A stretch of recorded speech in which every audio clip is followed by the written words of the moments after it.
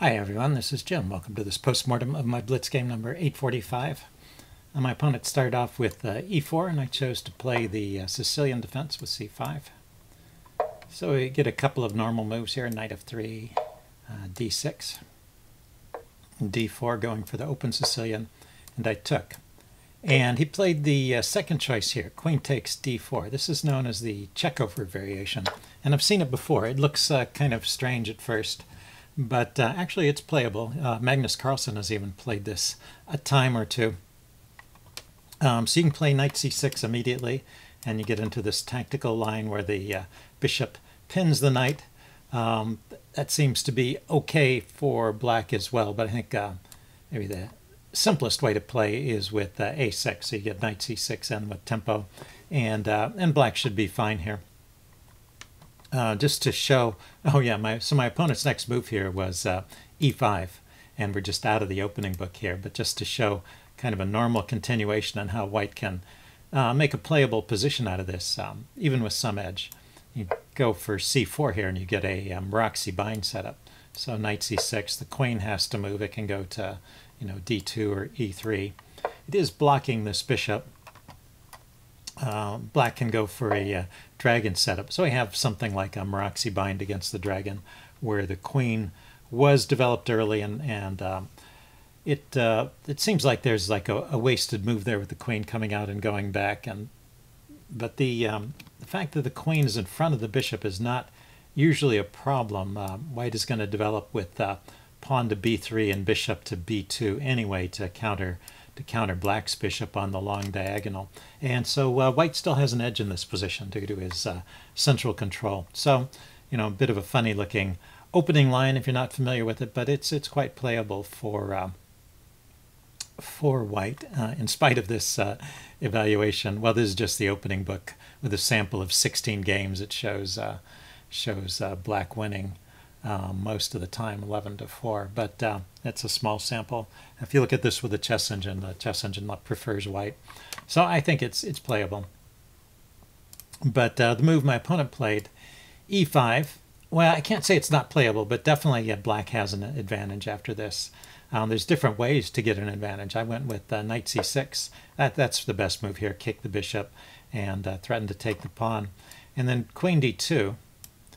I can actually just take the pawn now, and that's what the chess engine would do. That's its first choice, take the pawn, and then uh, take back with the king here after the trade of uh, queens so that uh, not only are you staying better developed here with your knight, uh, you're also holding on to that pawn. So you get to keep your extra pawn. And um, so black is a pawn up in the end game, but you have a, a long way to go to uh, win the game. And uh, I decided to keep the queens on with the move uh, e6. And this also leads to a position, well, the material is equal, but black has an advantage because of uh, better development. So both lines lead to an advantage. So I can't say anything has gone wrong. And then um, white doesn't do anything to help his case the next few moves. He goes uh, a3 a3 is apparently preparing the move queen to c3 and stopping me from uh, pinning, pinning and winning the queen in advance. But it's very peculiar play by white and cannot, cannot be good. So I just continue with normal development, let white uh, continue with queen c3, and I castle. Already here, um, e5 is, is looking to be a very strong move. I eventually play e5 in the game, uh, but the chess engine is uh, crying out for e5 early on. I mean, if we just put that on the board for a second, you can see that uh, white has got uh, the center, I mean black. Black has got the center, black has got development, black can castle. It's just pretty much every every advantage you can think of is is in black's favor at this point. So definitely a good way to play. Uh, there's nothing wrong with castling too. This keeps an edge for black, but maybe e5 was more accurate. Um, so uh, white finally develops another piece with bishop to d3. And then uh, right here, there's actually a long forcing sequence that uh, that wins material for black. So bishop d3 is actually a, a mistake. So if you want to see if you can spot the idea, how can how can black win material here? Yeah, pause the video if you want some time to think about it. It's an interesting test of your ability to uh, calculate, you might be able to find it, given the, the hint that I've given you that there's a winning continuation here. Okay, anyway, I'm going to uh, give the answer away now, so last chance to pause the video. It starts with this move e5, which I talked about before. Now e5 after bishop d3 is coming with a much bigger threat. It's immediately threatening this uh, fork. So bishop to g5 um, is the chess engine's suggested way of dealing with that uh, fork. The idea being after I push the pawn, white can uh, take take the knight and then take back the pawn.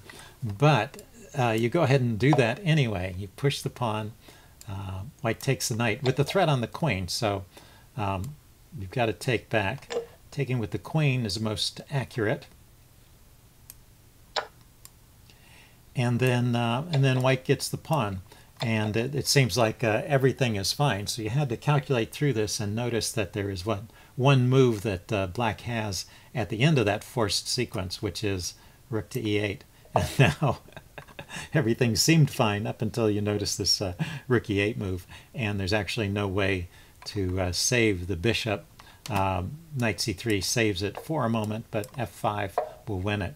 So it's pinned and it's unprotected, and there's no way he can both uh, unpin. There's no way white can both uh, unpin and protect the uh, the bishop. So a piece is going to be lost there. So so bishop d3 allows that tactic. The pawn push, the exchanges, and then finally the uh, the uh, pin along the open e file. So it all comes down to uh, white's slow development and failure to uh, castle, all part of the same picture. So anyway, that would have been uh, a quick a quick finish to this game and interesting. I didn't spot that. Um, I just kept developing with bishop d7, which is also you know keeping an edge. Let's see. Oh, white should go bishop to g5 now, and uh, after that, you know there's an edge for black, but it's not overwhelming. After the move uh, that white played, b4, once again ignoring all principles of development. Uh, at this point, there's no way for white to avoid the loss of material. So um, E, E5 is still a good idea here, um, as before, but uh, this move I played, rook c8, this is also good, setting up a discovered attack on the queen. And now just to show that how, how white loses material in all cases, um, the best move here is actually to develop the knight, knight b to d2 and you get um, you get a pawn here because you can take on b4 with the tempo on the queen and the knight is protected by the bishop. So the queen has to move away and then this continues. Knight takes d3, c takes d3 and uh, you've snagged a pawn here and uh, and white's position is still a mess as well. So that's the uh, that's the best that white can do. So that's what I meant when I said uh, white white loses material in all cases. Um, but White played a move that was worse. He played bishop to b2. And now, um, you know, I started to have ideas, um, particularly, you know, the idea of bishop to uh, e5 was looking very attractive. It's supported by the knight there, and um, and it puts pressure on this uh, queen and bishop battery. So uh, you get a backfire tactic against that bishop. And um, yeah, this is all pretty forcing at this point. I played e5 finally uh, taking advantage of this uh, threat to come here and fork those two pieces. Uh, white played g5, uh, knight to g5, but uh, well, this has accomplished my objective. Um, I couldn't I couldn't make use of the square e5 as long as that knight was protecting it, but my threat of pushing this pawn forward has chased the knight away. So um, I push forward once more and then that allows me to uh, clear that square so I can put the bishop there hitting the queen. Now the queen has to move out of the way. Uh, it wants to stay in touch with the bishop. And, um, and now I want to play um, bishop to uh, e6 to chase the queen away from defense of that bishop and just pick up a piece. But before I can do that, I once again have to uh, get rid of this knight. So, uh, so I decided to take on e4 so that when he takes back, I have another move against the queen. So all this has gone according to plan. And now we played uh, c4. And uh, the simplest continuation here is actually just to uh, take that pawn because after the queen takes, uh, you can take the bishop. And so not only do you get your piece back, but uh, you've also got a great position here. There's still uh, tactics, discovered attacks on the queen. And there's also the rook is under pressure there as well. So anyway, that that's that's another way to uh, win material, and that's the best line according to the chess engine. But I think the way I played it was uh, good too. It's uh, I took here first, which pulled the queen back, and then I took on c4, and uh, this keeps keeps white from castling, and this becomes uh, important later in the game. Uh, let's see, he finally develops his last piece here now, knight bd2, hitting my bishop. I drop back, it's funny, I, I dropped back here, he kicked it, and I went to d3, and I was wondering if I had just kind of wasted a tempo there, but actually the chess engine gives bishop to b5 as the best move here.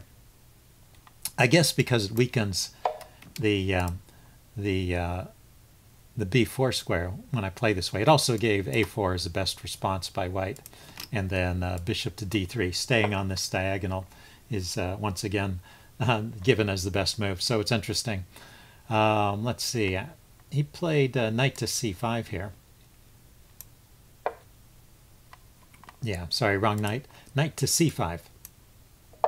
So, you know, that knight was uh, in danger of being pinned. And uh, so he's moving his knight away with a threat.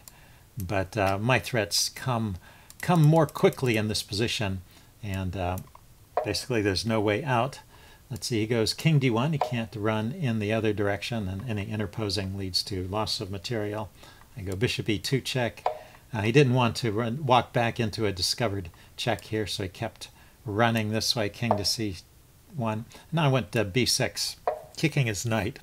And after he takes on a6, which is what he played in the game, um, he uh, loses. There's a forced checkmate in that sequence. So um, the best move here is rook a3, but of course that gives up a whole piece here, so that cannot be uh, all that great. Um, but anyway, yeah, he played them more. Uh, well, he played to save his material. He played knight takes e6, and that allows the pretty finish here. And um, so it's a forced mate in six, and I, I found one of the mates, but there is a uh, faster one here. So knight takes b4 check. That's a good way to start. Um, the knight here can't be taken because he's got to deal with the check, and it's also covering these key squares. And when I played this, I didn't see the checkmate. I just noticed that uh, it wins the knight here. But after his king went to b1, I started looking for checkmating ideas. And um, if you want to, uh, see if you can find the fastest checkmate here. Okay, uh, pause the video if you want time to think about it. I'm going to give the answer away now. The very fastest uh, checkmate is queen to um, d3 check. Because if you look at this, the uh, king has nowhere to go. The rook is guarding the escape square here, and the knight is guarding the escape square here. So only the only move here is to interpose with the queen and after the queen interposes, you can just take it once again because of the rook. So that would have been a nice mate in two. Uh, this is also a forced mate. I didn't quite see it all the way through, but I thought it, it must be good. Let's see, he went queen c2. yeah, it forced a win of the queen, so I suppose I was thinking that was good enough. I take here, but uh, wherever the king goes, he ends up in a checkmate. So he went to b2. I went queen d4 check, and he went to a3 and you saw how that ended in a checkmate. If he goes to uh, c1, there's a very pretty checkmate with the knight. Uh, the rook defending the bishop, the queen guarding the escape square, and the knight delivering the check, and the bishop covering those escape squares. So all four pieces are in use. I guess I'm not using that, Rick, but the uh, the minor pieces there, the uh, the bishop and the knight are playing the starring roles. So very pretty mate in that direction. King to a3 also leads to a checkmate after uh, queen c3 check. He has to interpose, and then I take it with mate. So a nice little uh, workout of your uh, checkmate patterns, and um, I hope you guys enjoyed this. See you later. Bye.